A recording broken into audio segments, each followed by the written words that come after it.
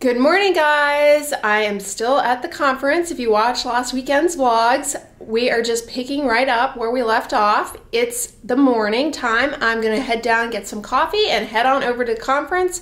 I have on a black top this morning that comes from Amazon via allegedly the same factory that makes Skims. So very comfortable. I have it with this little double necklace that I got in a FabFitFun box a few seasons ago, I believe. I'm wearing the Peripera Ink Velvet. On my face, I have Whoa Glow from e.l.f. And I also have the Winky Lux Mascara. We have the toucan to say goodbye to. Alright, I'm here at the Neutrogena booth. Here's Lubriderm. Ooh, I need to try this. Daily Moisture, Body and Face. I love the Advanced Therapy Lotion and the wash is really good too. I need to try this Daily Moisture. Here we have Aveeno. Skin Moisture Relief. This is one of my favorites. Actually, it wouldn't it be fun to have this in my apartment to sit on like a little ottoman. The Aveeno Baby Eczema Therapy Night Balm. It's really good. Highly recommend it actually. Oh look, they showcase the oat oil, oat flour, and oat extract.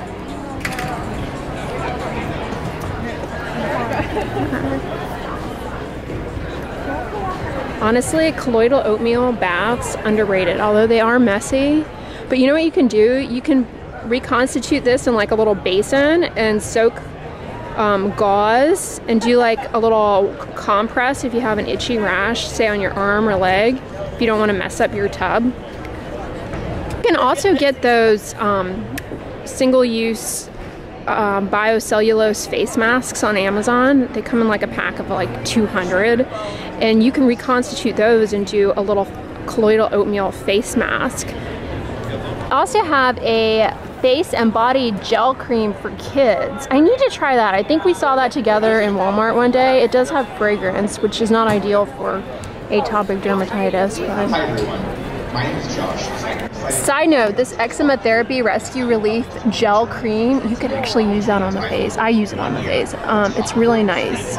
It's kind of a less costly way to get the same kind of texture as my all-time favorite the oat gel moisturizer. I really hope they never discontinue it. It is a pricier product, but it's really good. Last night, which for you guys was last weekend's Sunday night vlog, I tried out the uh, Vaseline Radiant lotion and it was extra glossy. The texture kind of reminds me of this Aveeno Tonin texture with polyhydroxy acids. Love it.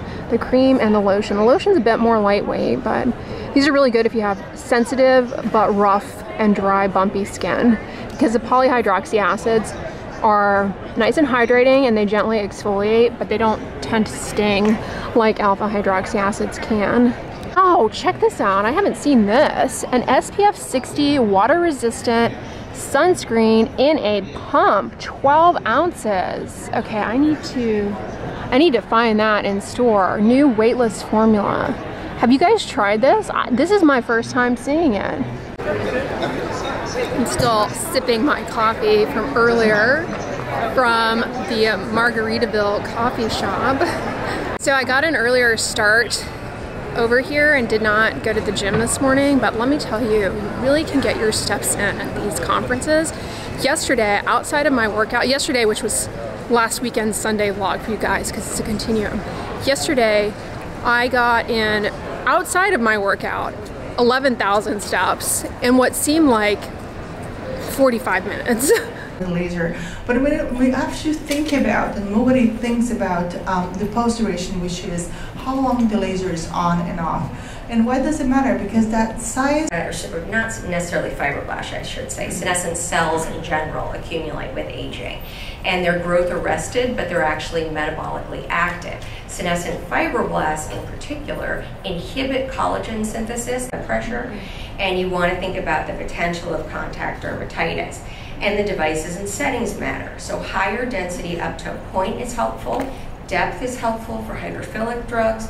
The coagulation zone, which happens with devices that heat, which is this little heated area around the hole.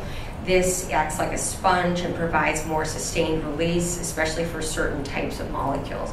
And lastly, you got to think about vascular flow because if your blood flow is really high, everything that you put in is just going to be shipped out as soon as you put it in. And turns out, Dr. Haedersdal found that pulse dye laser can impact this. So if you do pulse dye laser prior to laser assisted drug or topical delivery, then the topical is going to stick in the skin more. It's an antioxidant. There have been studies that show if you stick your arm in an ozone chamber and then have vitamin C, you have less DNA damage than baseline. There's good evidence that improves photoaging, increased collagen. That's nothing new. So what happens when you combine it with fraction laser? Well, potentially you could decrease some downtime. There was decreased edema and erythema with the CE ferulic uh, in a study by Dr. Waibel and in a study by Dr. Johnson and colleagues. They looked at a number of their patients and they found that they didn't have additional side effects with the use of CE ferulic. However, you can have additional side effects, so be careful with the vitamin C that you are using.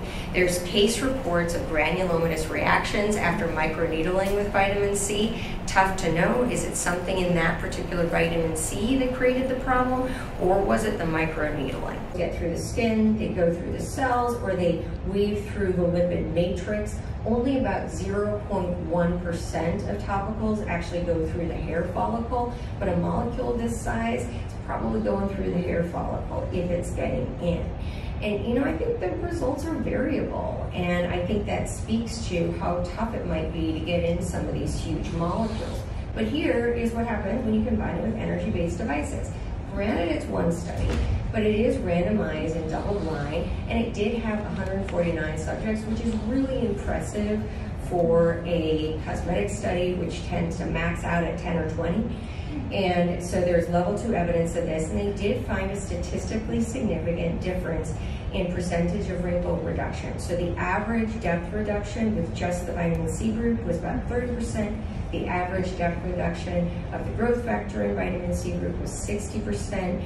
Over here, you see that the growth factor group had some decrease in roughness, and also this is pre and post, had some improvement in lines. You inject about a centimeter above the mid-pupillary region and above the brow, and inject superior to the medial brow. Why? Well, it's not because the teaching was that you're going to help to reduce the risk of eyelid ptosis.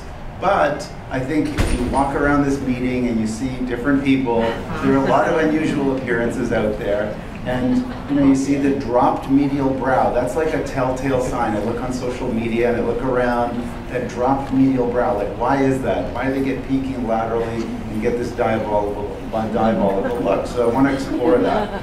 So we did a trial a couple of years ago, and it was a trial looking at the product doesn't matter. It was with Daxi, but it was four different sites, uh, 60 patients in total, and there were four different injectors. And we were starting to analyze the data. It was moderate to severe glabellar lines. Below it, you're lifting up. Above it, you're pulling down. So theoretically, if you stay above that line, you're never going to drop the brows because you're only going to hit, you're going to allow the movement upwards and not pull the forehead down, right? And so this is, and that line's about two thirds of the way from the brow to the hairline. But this is a really interesting paper. It was published in the same year in China, and it looked at this new refined pattern. It's super interesting. It's very instructive from uh, how to do it and little bits and pieces that you can take from it. So they kind of classified wrinkles into four patterns. Type 1 was mostly upper, type 2 mostly lower, type 3 all the way up and down but mild, and type 4 was full upper and lower as well, but more moderate to severe, so more intense.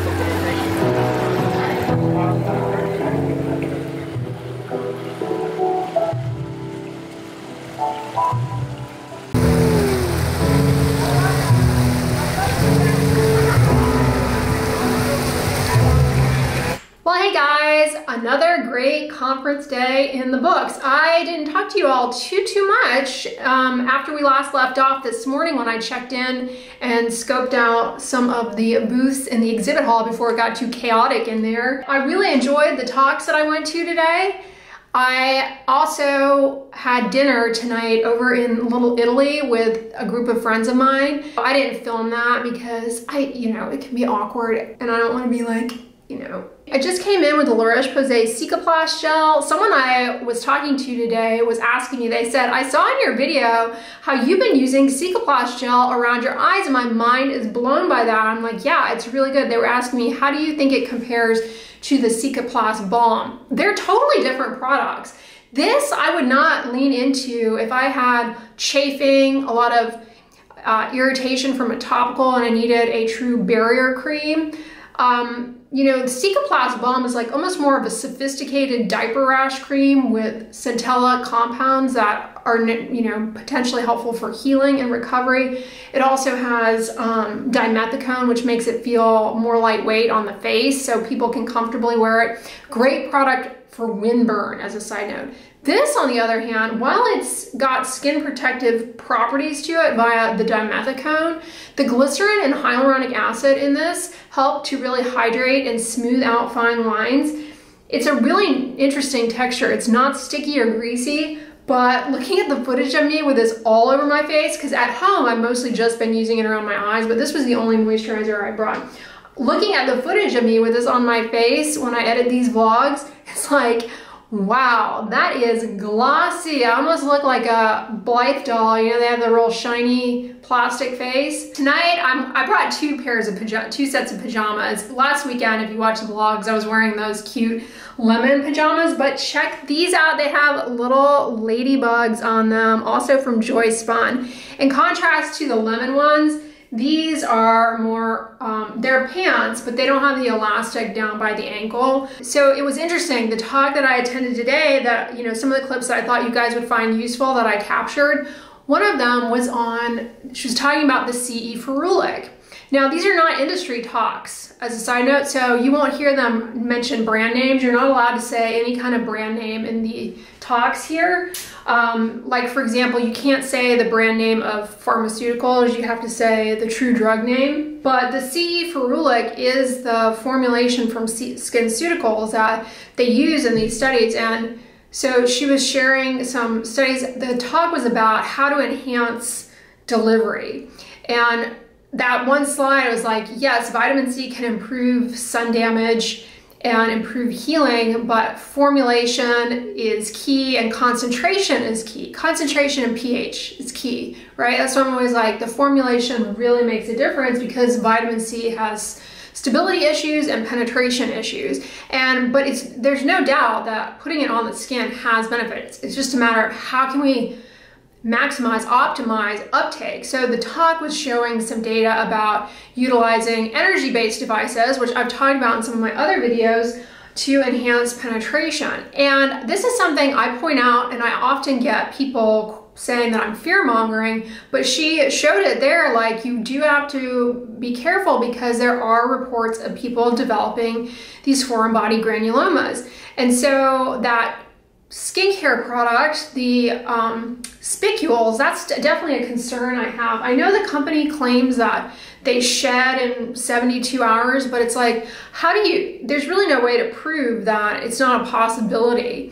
And it says that they dissolve, but how? It's not the same as silica powders and cosmetics that are small enough that they just sit on the skin surface. These are intended to pierce. I mean, they're they're basically like little sponge-derived microneedles. And the idea that they just dissolve makes no sense. I mean, you, they, they're derived from an animal that exists in water, lives its life in water. And you're telling me, oh, they just dissolve in the skin. Not only that, but spicules from sponges, they're uncovered in fossils. like, and you want to tell me that they don't, that they don't have the potential to remain in the skin possibly that they're you know that they just dissolve i'm not buying it i'm not saying it's impossible but I have serious reservations. We do see cases of these foreign body granulomas, and they can be quite disfiguring. So that was one thing I thought I would share with you guys that you might find interesting. And the other thing, I often get questions about growth factors in skincare products, and I'm highly skeptical of growth factors, like she pointed out. They're very large in size. The likelihood of them penetrating is pretty questionable, but utilizing energy-based devices to enhance penetration does show that potentially they have some effect. So what she was talking about there was like um, using using uh, vitamin C with energy-based device to enhance vitamin C delivery or vitamin C plus growth factors. And when you added growth factors and you were using an energy-based device to get everything in, when you added growth factors, there was even more, even an even greater reduction in wrinkle depth and improvement in, I believe, skin texture, which is interesting, but it's like, is it truly because the growth factor is getting in there and improving collagen production, or is it just the effect of swelling and or moisture retention, hydration, um, that is leading to that decrease in wrinkle depth. And so is it just a temporary effect or is it true collagen induction? I went in the shower with my contacts in. Harder to get contacts out after you've gotten out of the shower as opposed to before you get in the shower. Does anyone else feel that way? I, I mentioned in yesterday's vlog, which would be uh, last weekend's vlog, that I would update you on my thoughts on the Shea Moisture Coconut and Hibiscus Curl and Shine Shampoo. This is what I tried last night. Loved the way my hair was today. Soft, manageable, shiny. Used it again, so this little sample that I got at the, at the um, expo had two shampoo and conditioners worth and I used it again tonight. It's got silk protein, which can help fill in like little gaps in the hair strand and help with smoothness, neem oil and emollient, and coconut oil, which is really good for the hair, helps reduce hygral fatigue. Panthenol is moisturizing. I really liked, liked these. Um, didn't leave a heavy residue or anything on my hair. Yeah, Shea Moisture has some good shampoos and conditioners. Anyway, y'all, that's a wrap up. I hope you all are having a fantastic weekend and enjoying these San Diego vlogs. Come back tomorrow, 11 a.m. Central Standard Time, noon Eastern Standard Time for another vlog here in San Diego. Um, I'm gonna be here um, until Monday I leave, so I might even get vlog footage we'll see to take you guys into the next weekend. Um, just to keep things interesting maybe some airport airport footage chit chat. We'll see. Yeah i'm really having a great time learning a lot and i look forward to sharing more of it with you. So come back tomorrow but if you guys enjoyed this video give it a thumbs up share it with your friends and as always don't forget sunscreen and subscribe. I'll talk to you guys tomorrow. Bye